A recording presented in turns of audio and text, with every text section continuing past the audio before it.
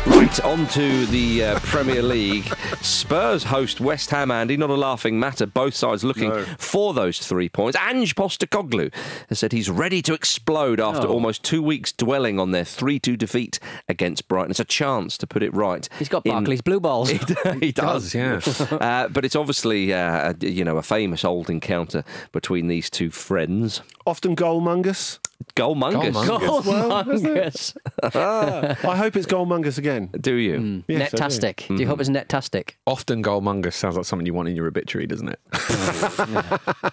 Well, what do you think, Jim? Are, are we thinking goals galore in this? It does feel, if you go on sort of pre um, international break form, it does feel like Spurs will be out to, um, you know, make up for what happened against Brighton. West Ham, you know, obviously they've been a little bit better of late, but um, they they've had a rocky start to the season. Son's back. Richarlison should be on the bench. This this does screen goals, doesn't it? Early kickoff as well, so everyone's still waking up.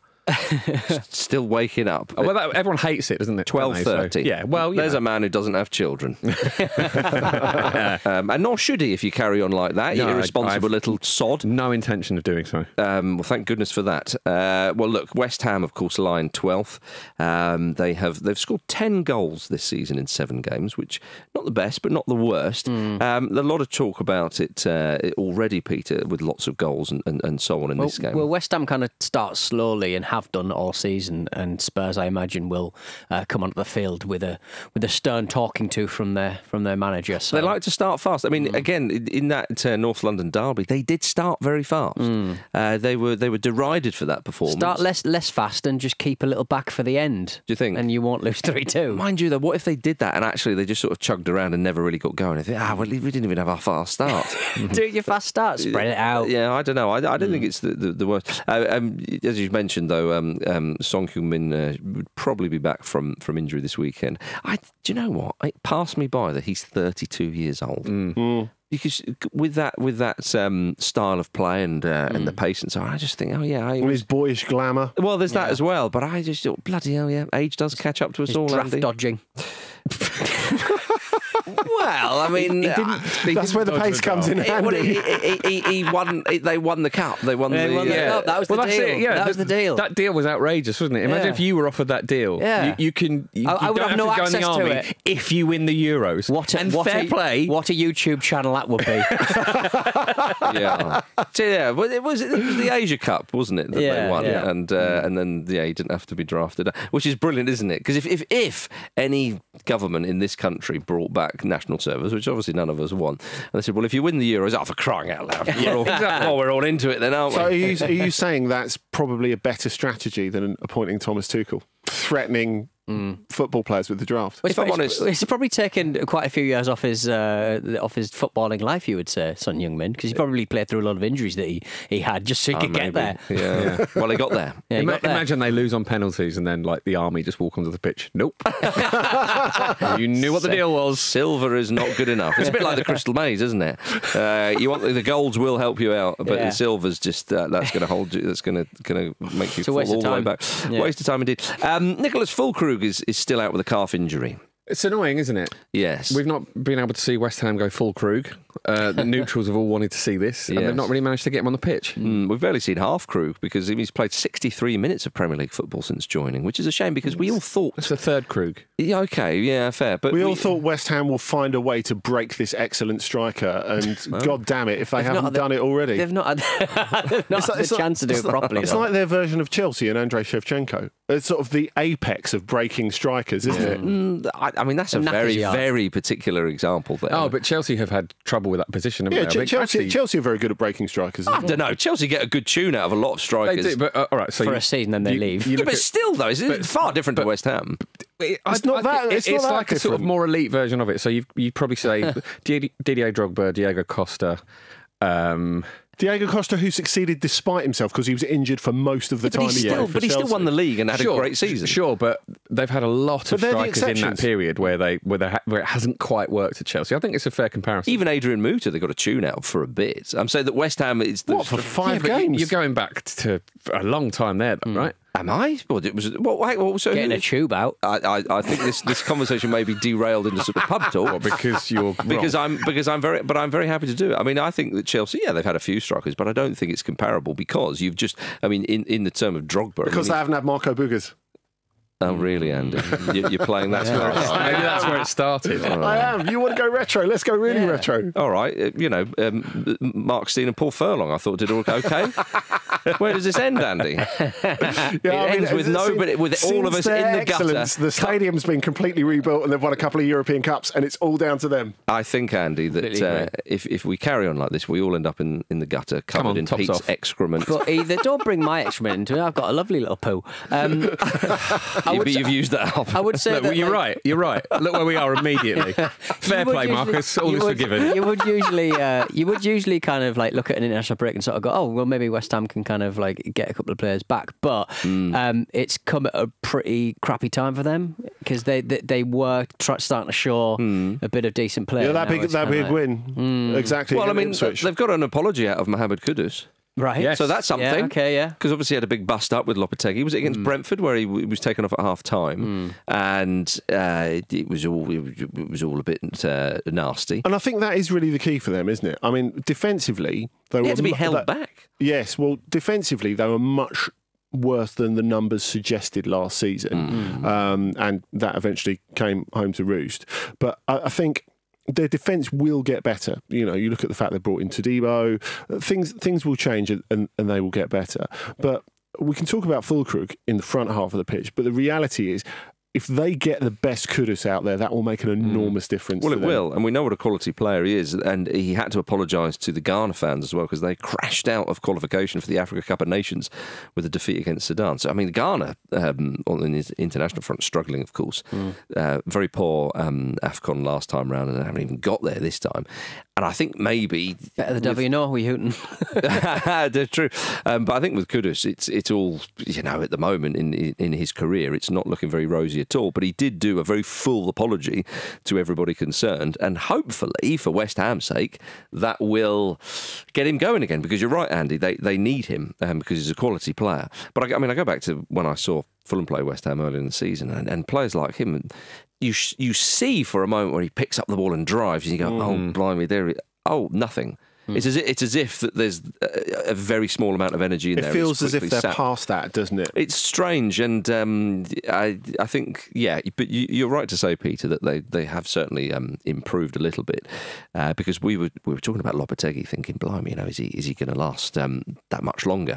So they've got a real chance here because this would be a, a huge victory for them. It's fair to say they always like beating Spurs, uh, and Yes, Spurs, as we know, Jim, can be got at. They they always get themselves up for this, don't they, West Ham? And uh, we know that you know Spurs play in a, a very um, kind of um, gung ho way.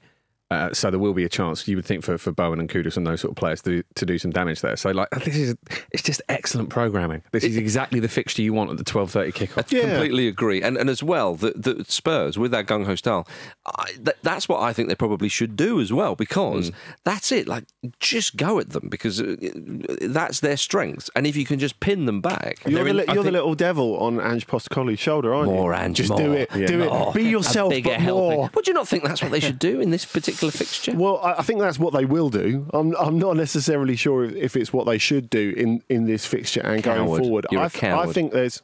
well, I'm not coaching Spurs. It doesn't make any difference to me. I think the problem is if you I think both teams are deluded, quite frankly. if, if you if you look at this, Spurs are in a, a really tricky spot at the moment because on paper, great form leading into this game against Brighton. As Postecoglou said, he was absolutely infuriated by it. And he was he was visibly quite angry. And you know, he's someone who manages to put things into perspective quite nicely. But he was he was visibly furious after that.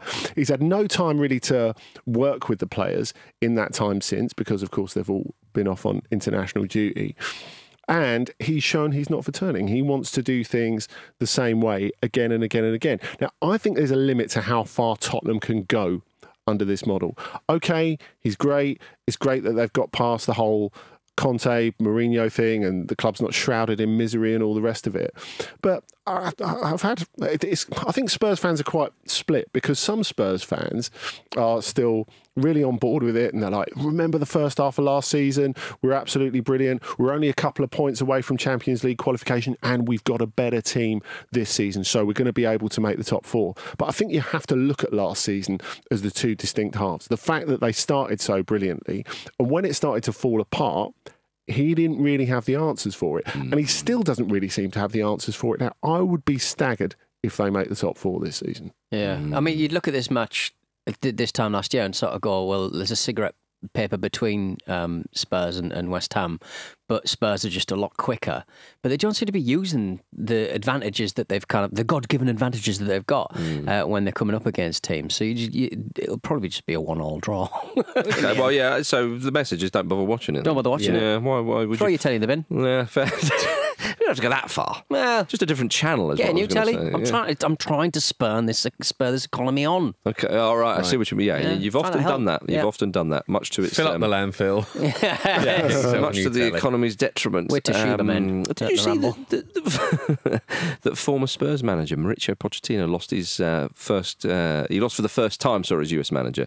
Mexico beat them in a, in a friendly two 0 Raul Jimenez of What Fulham a goal! and The Verge uh, scored an absolute peach, didn't he? yes, Raul Jimenez. My goodness, Andy. Can they? Can they not play. Panama every week? Can we Uh, not th- play there is a petition every week, going please? around uh, to make sure that they are automatically qualified for the World Cup. Um, so, uh, so yeah, poor, poor old Poch. All right, coming up after this, Nottingham Forest are looking for a new social media manager. See you in a moment. Hi, I'm Danny Welbeck, and you're listening to the Football Ramble. Oh, it warms your cockles, doesn't it? Like that Welbs. Rams like Welbs. Yeah, Yeah. I, I, I got that. You know, Did you? Yeah. You shouldn't be allowed near uh, England stars. why? 'Cause you're just weird to them. you're just ever so strange with them. Go on then, you are. carry on. Just a bit. You just get too too keen. Says Too the man who's got too touchy. currently a massive erection. right. Not for that. It's for the bet builder. Liverpool versus Chelsea. Boner builder, more like. on Sunday at 4:30. It's top versus fourth.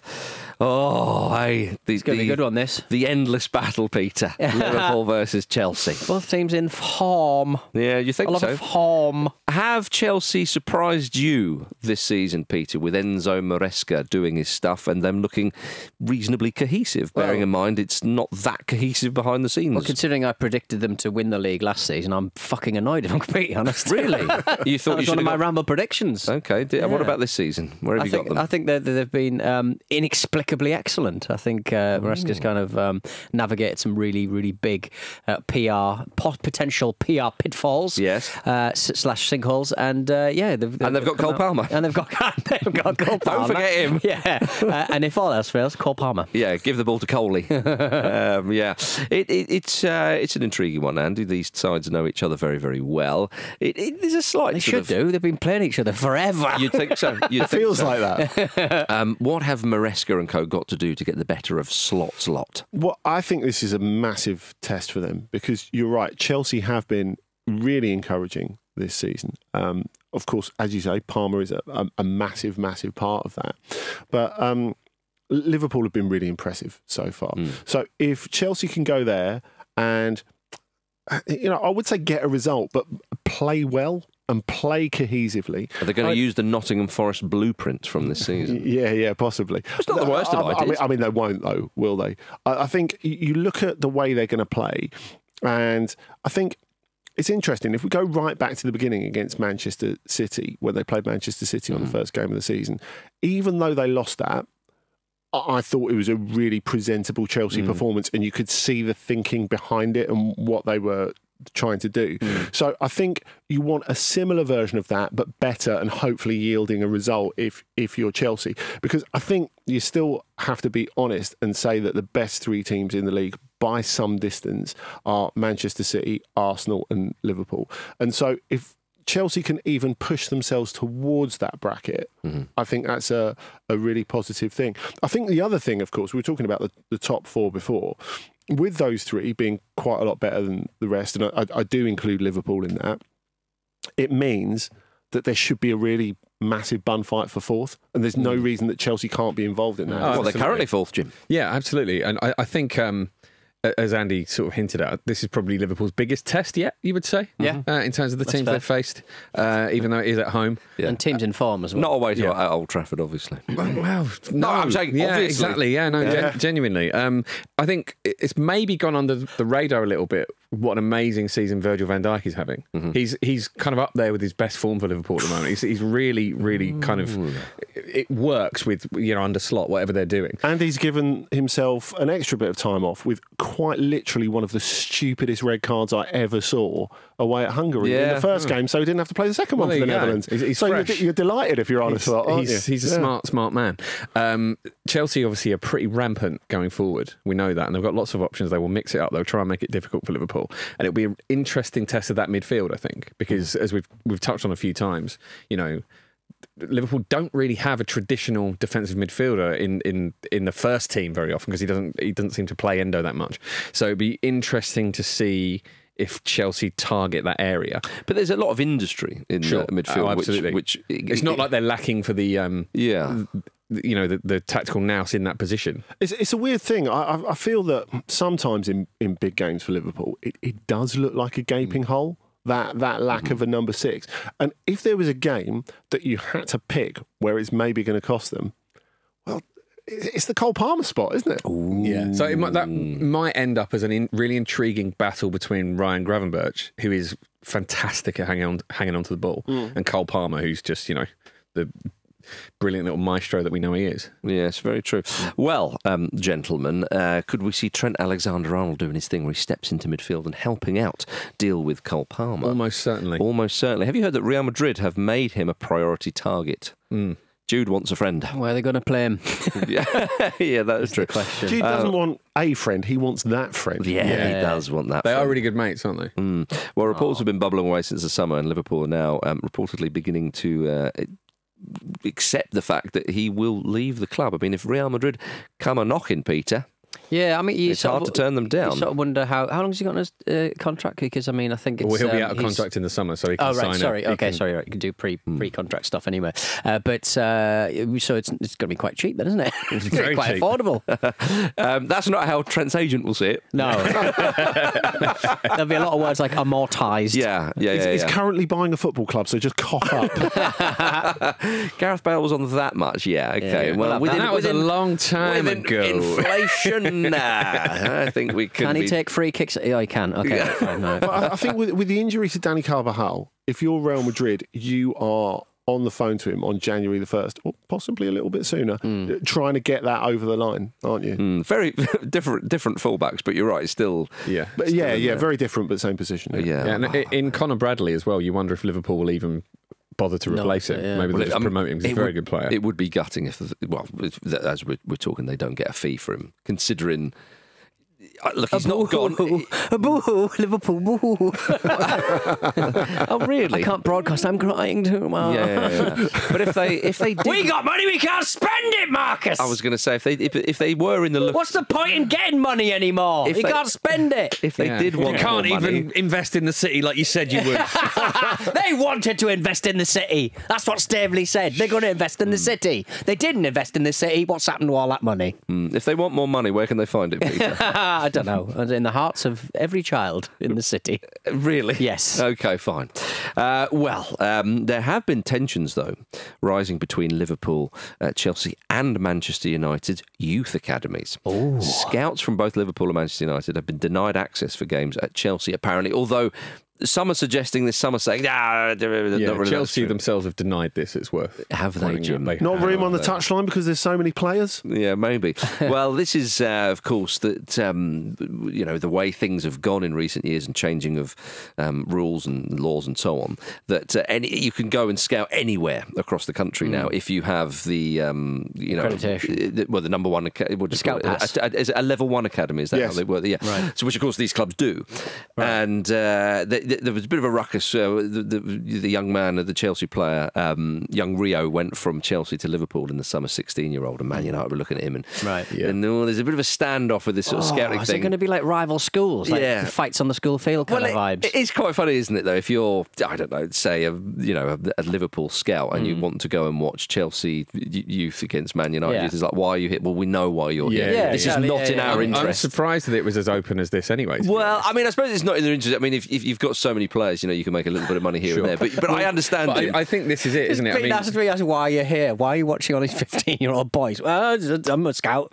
I'm a scout. It's the thing to say, isn't it? yeah, but they genuinely ask. Okay, I know, I know, It's I know, really, really crucial that I that I say that. It is utterly crucial for everybody involved, from us to them, that very they are generic, it? accredited scouts. Why are you watching those fifteen-year-old boys? It's not a question you what you need to hear in your life, is it? Gordon bloody Bennett.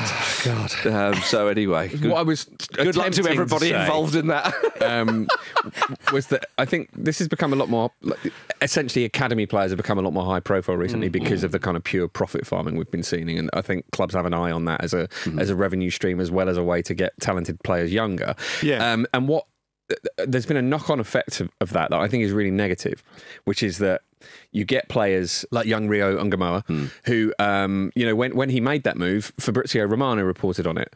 And that became a lot more common in this summer in particular, where very, very young players were sort of thrust onto his feed. Got a lot of followers, a lot of influence. It's a big thing. The Guardian do uh, a huge article every year of like the, the kind of really exciting promising, young players to look out for. And then in a couple of years, they, they do a thing where it's like, where are they now? And barely any of them have, have, Yeah. have made it through it. because and I that is just- football. yeah, bec- because that is football. Yeah. I, I just wonder how um, damaging that might be for a lot of those players. This this kind of this raising profile of players of that age. I don't think there's much of a duty of care.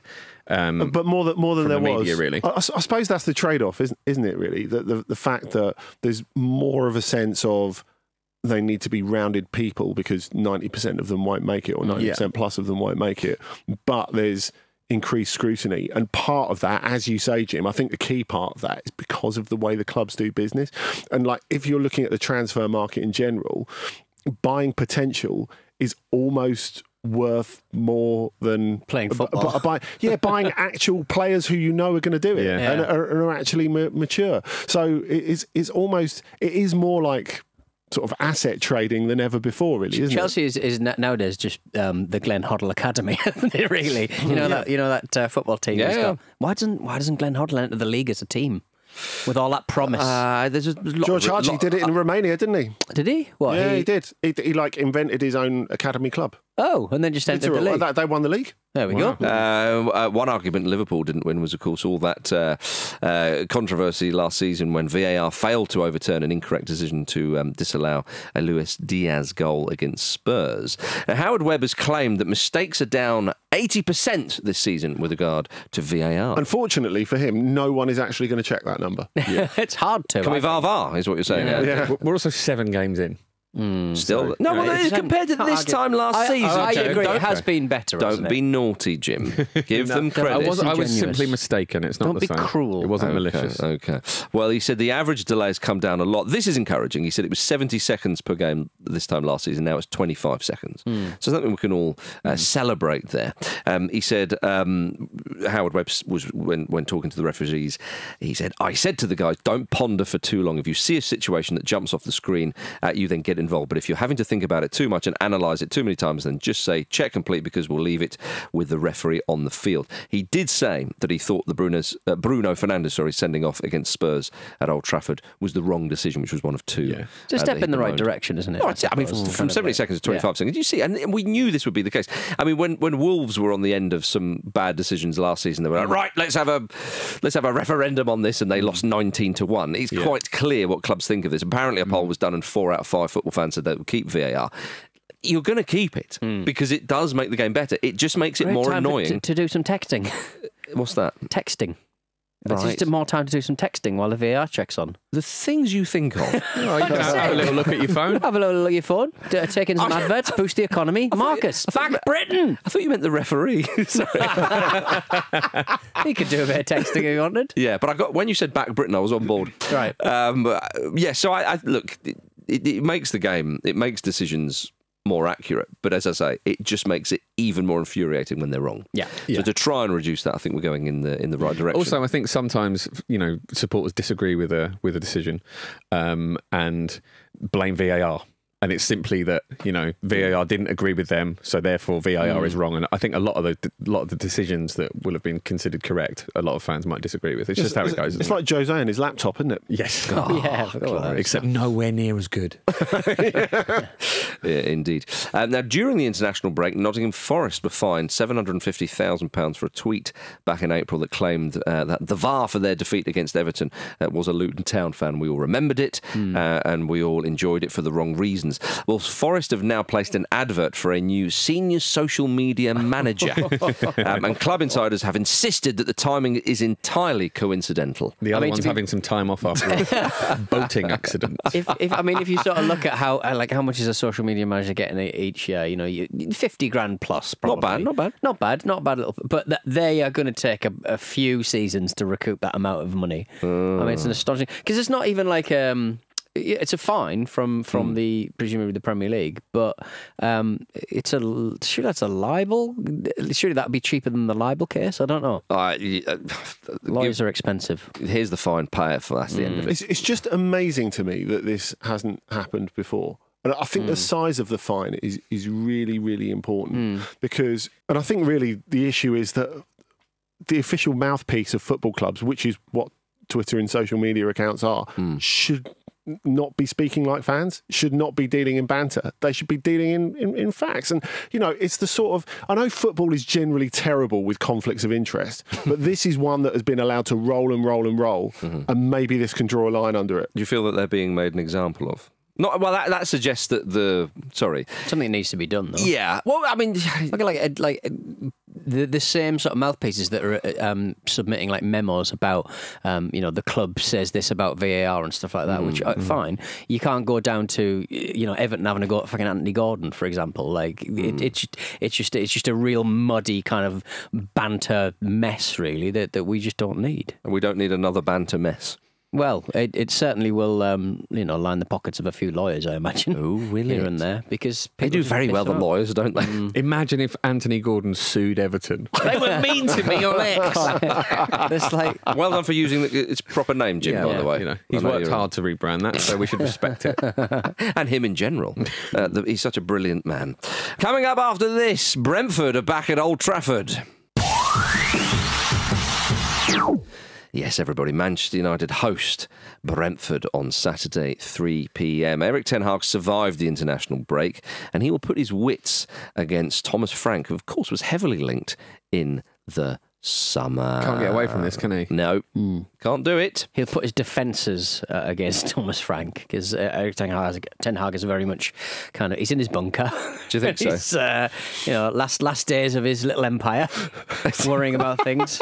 Last days of his little empire. little empire, his little Ten Hag empire, Uh-huh. and he's like, well, I'll, I'll be out the door soon. Do you think so? It'll all be over. I he seems a go on little bit, he seems a little bit more defiant than that. Yeah. I yeah, would be- publicly, I mean- outwardly, uh, inside. I bet he's going. I just want to go on holiday. It would be great though, wouldn't it, if a manager was a bit more like that? Yeah, well, look, I'm a, it's I'm a dead man walking, but I'm not. I'm not walking. We'll, look against Brentford. I promise you, we will give it a go. We We will give it a go. I Great, will actually, field wouldn't it? eleven players. Yeah, like he's more relaxed. He's not because we see managers really getting very prickly, understandably so. Because everyone's like, "Hey, you crap, you're going to get sacked," and I understand why that Yeah. would piss There'll be someone off. another match next week. I'll have a bag of money in my hand. I mean, what's, what's not to love? So m- maybe the maybe the way to engineer this is for every interview, be it a press conference or a pre-match conference or a post-match match conference, the, the managers get a little truth serum. Yes. So they're just like, oh, we are. Little lie Got to be detectors. honest, we are dreading this. Yeah. they keep scoring in the first minute. We've got nothing for that. We've got nothing. well, players think hate me. that's I hate them, and they're all shit. I think that's it. With where Man United are at the moment and where Brentford are at the moment.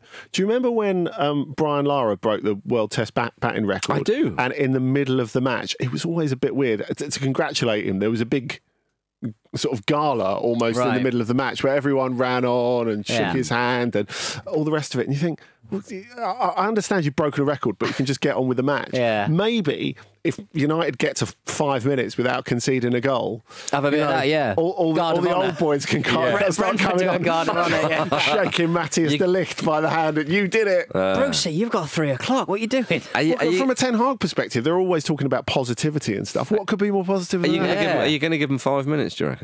Three? Three. You reckon three? Okay. What, any, any advances on three? Uh, I, I, I, surely the early goal thing is over now. Surely. Surely, surely, Jim. um, I maybe can next feel week. the warmth of how hard you're brushing your fingers and hands together. Well, Brentford, of course, are three places above Manchester United in the league. Um, they're, uh, you know, they've, they've, they've, they've been entertaining. They've been entertaining. Not, not that many points, of course, Brentford, but they're still they're doing okay.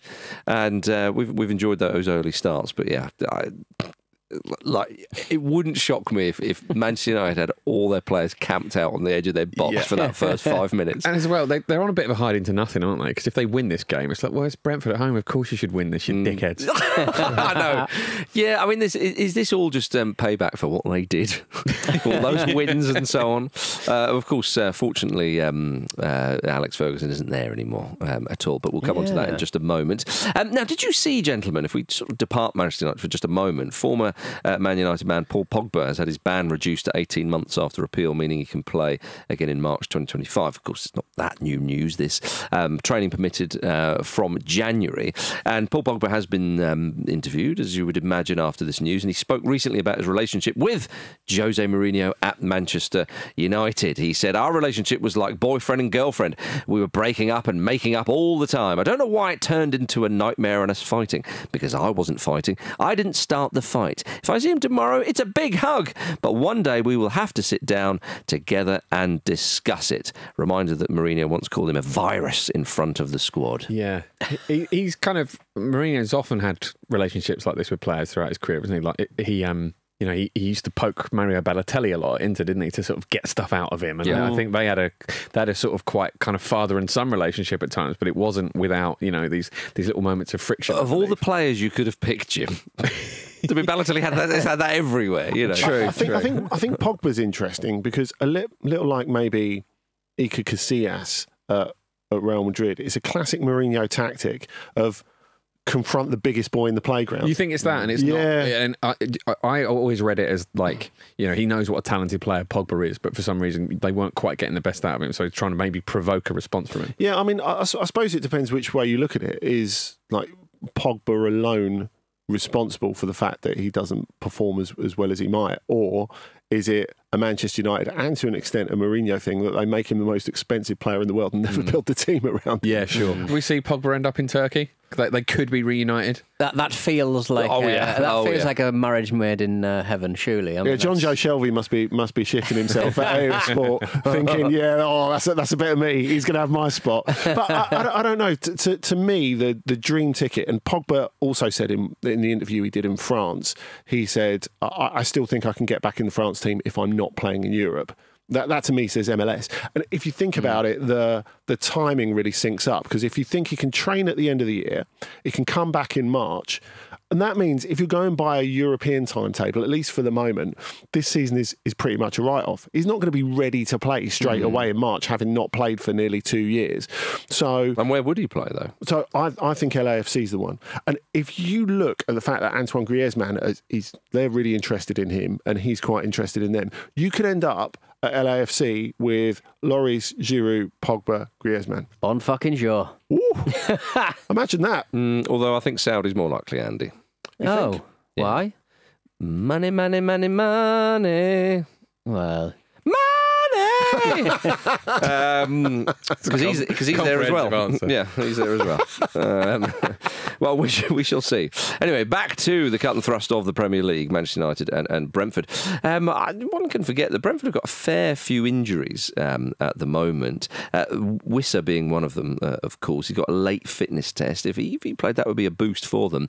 But with Brian Mbeumo in such a early goal scoring uh, form in the season, it's something we've come to expect from him, Jim. But you wouldn't put it past him scoring an overhead kick, a penalty, something like that. No, sure, he's absolutely capable of scoring a goal in a football match. Hmm. Is that what I'm getting out of you on Brian? Well, yeah, I mean, he's having a really, really good season, isn't he? He's he's he been one of starts the the season. sparks of it. He does this. He starts the season like he's one of the best players in the world. It's crazy. But he's needed to because if you think they're post Toney and the guy they signed to replace Toney, Igor Julio, is not fit until the end of the year. Which is ha- having looked quite good in pre-season. It's always a shame that Wissa's not there. because, Yeah, Yeah. they're a lovely duo, aren't they? They we are. really saw that Really nice. starting starting to flourish last season. But you, but you're right because it- it's more than goals within with isn't it? I think he shoulders that burden really, really well for And Brentford, defenders. he's a really He does good shoulder for defenders as well. Very much so. Yeah. do, you, do you think that the kind of um, England changes kind of logged up, sorry, jammed up the log jam uh, once more? Because there was rumours that Thomas Frank was going to replace Pep if Pep took the England job. Now with England having uh, Thomas Tuchel, Thomas Frank at Man City. Yeah, I didn't hear so. that. Well, I had that No, a few times. no, it I've was- had that a few times. No. Yeah. No, okay, Man- all Man- right, it was fine. Is that all I'm getting out of you? Right, okay, no. Yeah. All right, fine, fine, okay. Thomas Tuchel can, can never can never manage Manchester City. Clip said that. Thomas what time Frank. is it? What? What did I You say? You said Thomas Frank. I did say Thomas Frank. You did. What did I say at the start? You just said Thomas Tuchel. Yeah. All right. I meant Thomas Frank. Thomas. Frank. You said the Thomas- Brentford. I said Thomas Frank at the start because that's what I'm talking Right, about. okay. Thomas Tuchel has taken the England job. Yeah. Which means Pep Guardiola is not going to take the England job. Which means he will remain in a job at Manchester City. right. frightened, So uh, Thomas like, Frank. as well. Thomas Frank can't take the Man City job because you can't have two managers. That's the rules. Okay. When you say that Pep Guardiola will stay in his job, it Yeah. suggests that Man City were umming and ahhing about him. Well, if Pep Guardiola's got one foot out of the uh, Manchester City dugout, you would hope that they would have some kind of succession plan, and Thomas Frank apparently was in the frame. Well, at the start of this chat with Manchester United and Brentford, we spoke about Thomas Frank being linked to the Man United job. Right, okay. You've just invented a link No, I haven't. between the the very this very Is, this is this is like the whole. Um, uh, which, which team did I say starts starts uh, drops off? Wales drops off uh, rather a lot, and everybody questioned me, but I will be proved right. Okay, Thomas mean- Frank will never manage Manchester City. I've for googled right, cool. Thomas Frank to All right. Man City, and it's all stuff about Erik Ten Hag. so yeah, because he spoke about maybe something happens. Thomas Franks insists he is happy at Brentford, but will not rule out leaving in an exclusive interview uh, with. Yeah, to uh, where? uh, To uh, where? to where? Well, to where exactly? Yeah, Manchester. Mm, Manchester. Okay. All Uh, right. Yeah. All right. Yeah. uh, the only place we can go now is is to Richard Keys. Um, he Another man who knows his stuff, knows his onions. He slammed Sir Jim Ratcliffe. for killing Manchester United after Sir Alex Ferguson was dismissed as an ambassador. Now we spoke about this, of course. It was it seemed like a fairly mutual Yeah. uh, decision, and as Yes. you said, Jim, he probably thought, oh, "Thank goodness I don't have to go every week now." Yeah. Uh, so Richard Keys doesn't seem to have got that memo. Keys also recently claimed that he'd watched every Premier League game in some form or another since 1992. I mean, if you're talking about highlights, Richard, then I mean that is possible. Although I would probably that, that, to be fair to him, which you know I hate to be, Yeah. uh, he, he did clarify that it's, It's quite that by saying in one form or another. It's quite strongly caveated, isn't Yeah. it? TikTok. What's the all on TikTok? But Jim, it's your Friday as well. You don't have to be fair to That- him. that's true. That's true. I watched them all through the window of a lover's house. You know what? I mean, Richard Keys is a cautionary tale, right? But he is the sort of person who is so stubborn and has so much, um, you know. Um, hubristic professional pride. I wouldn't be surprised if this was actually true. Right. If he has made himself watch some sort of highlight of every game to Yeah. the detriment of anyone around him, um, To in- prove he's in been a part of it important all. moments. It's, yeah, an, it's an incredible sentence. What are they isn't it? doing in my Premier League? exactly.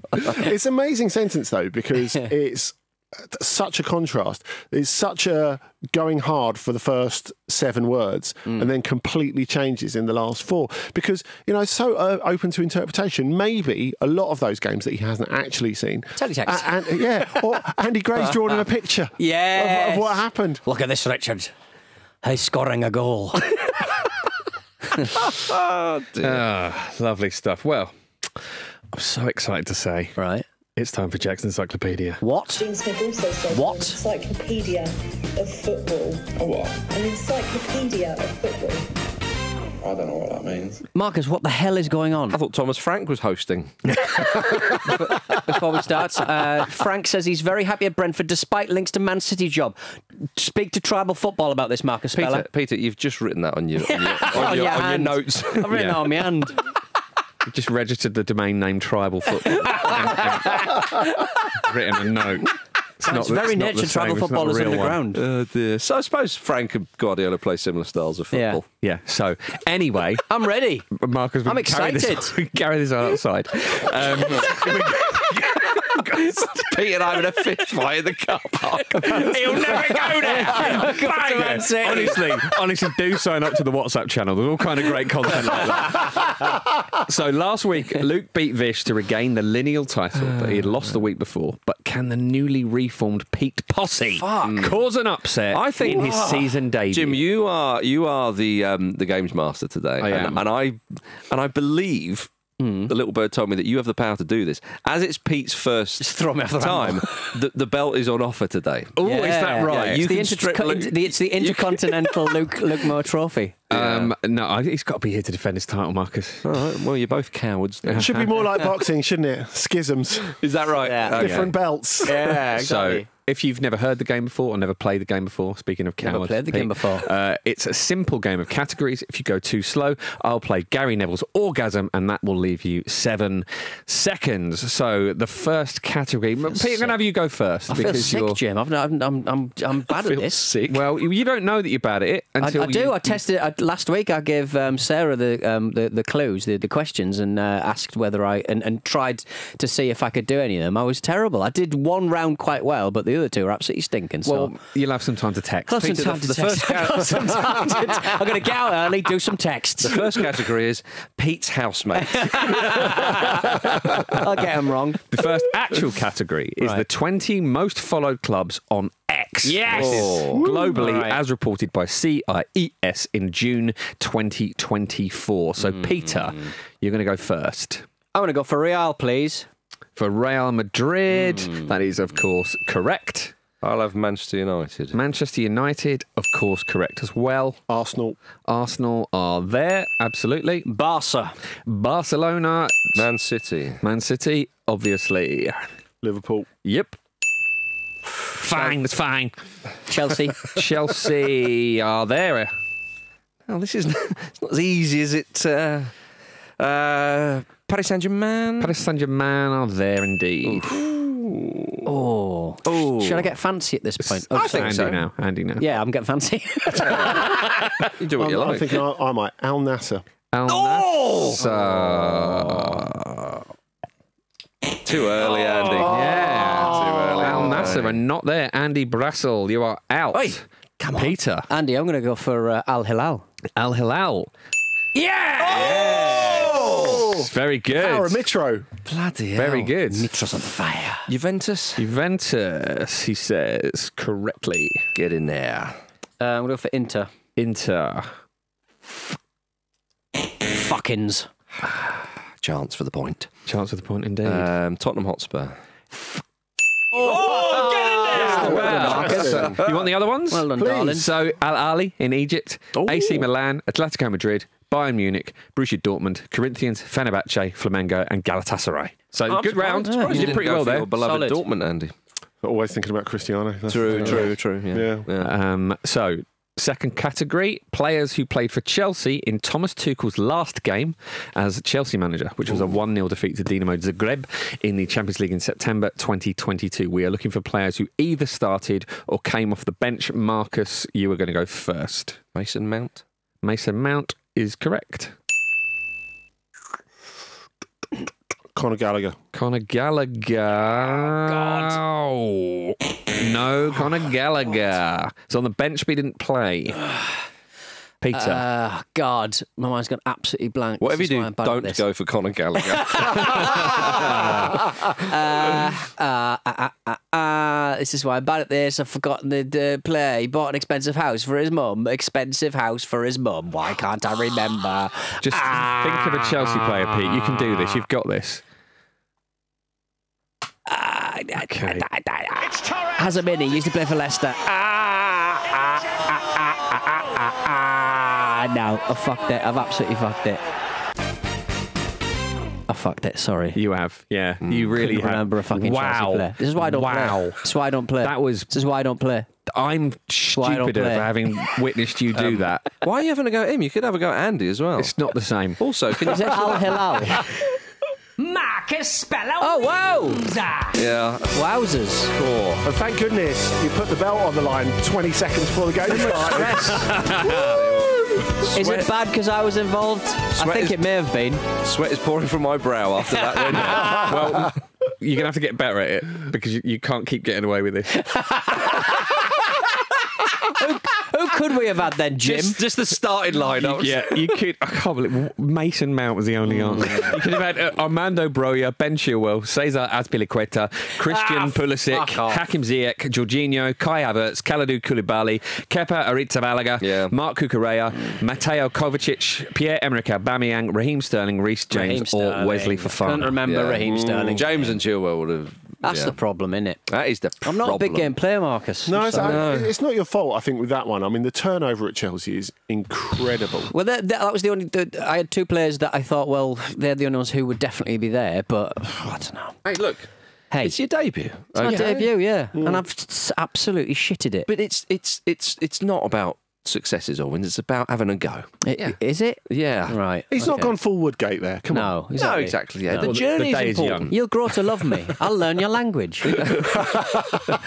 Well, there we are, everybody. um, get your languages in to Pete Donaldson, uh, and he will indeed love you in return. Cheers for watching another fantastic clip from the Football Ramble podcast. Make sure you click like on this video and subscribe to the channel, which means you will not miss a single upload.